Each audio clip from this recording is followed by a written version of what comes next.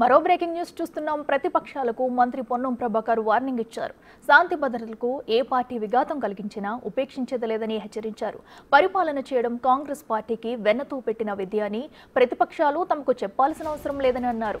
రాష్ట్రంలో శాంతి భద్రతలు Hyderabad brand image దెబ్బతీసే విధంగా బీఆర్ఎస్ నేతలు వ్యాఖ్యలు చేస్తున్నారని ఆగ్రహం వ్యక్తం చేశారు. శాంతి భద్రతలకు విఘాతం కలిగిస్తే కఠినంగా వ్యవహరించాలని పోలీసు అధికారులకు స్పష్టమైన ఆదేశాలు ఇచ్చామని తెలిపారు.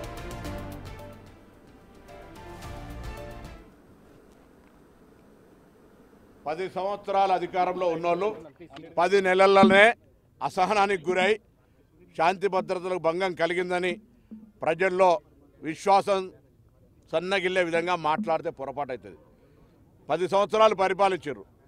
ప్రతిపక్షంలో ఉన్నవాడు అధికారంలో ఉన్నవాడి కంటే ఎక్కువగా శాంతి భద్రతలు కాపాడడానికి సహకరించాల్సిన అవసరం ఉంటుంది. కానీ శాంతి భద్రతలు ఉండొద్దు. రాష్ట్రం అల్లకల్లోలం కావాలి. ఘర్షణలకు నిలయం కావాలని కోరుకుంటున్నట్టు అనిపిస్తుంది వాళ్ళు మారు మారు మాట్లాడుతుంటే. ఇదే అంశం మీద శాసనసభలో చర్చ జరిగింది. ఆ రోజు నేను కూడా మాట్లాడినా. హైదరాబాద్ బ్రాండ్ ఇమేజ్కి దెబ్బ తగిలే విధంగా కొంత కుట్ర జరిగేటువంటి విధంగా వ్యాఖ్యలు కనిపిస్తూ ఉన్నాయి.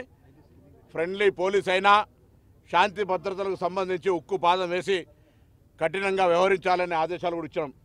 నిన్న కూడా మూడు రోజుల కింద city police commissioner Hyderabad collector అందరం కూడా హైదరాబాద్ కలెక్టరేట్లో సమావేశం పెట్టి చెప్పడం జరిగింది.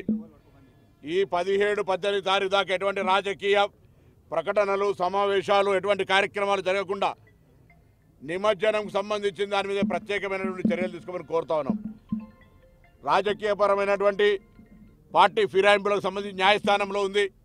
ఆ అంశానికి సంబంధించిన న్యాయస్థానము శాసనసభ వేదికగా జరిగే అంశం మీద మీరు ఒకవేళ నిజంగానే రాజకీయపరమైన విమర్శలు చేసుకొని కొట్లాడుకోదలుచుకుంటే వినాయక నిమజ్జనం తర్వాత చేసుకోండి. కొంతసేపు విరామేమని కోరుతూ దయచేసి ఎవరు కూడా ఇంక్లూడింగ్ ఇంక్లూడింగ్ ఇంక్లూడింగ్ కేటీఆర్తో సహా ఇంక్లూడింగ్ ఇంక్లూడింగ్ ఇంక్లూడింగ్ ఇంక్లూడింగ్ కేటీఆర్తో సహా అందరికీ తెలియజేస్తా ఉన్నాం.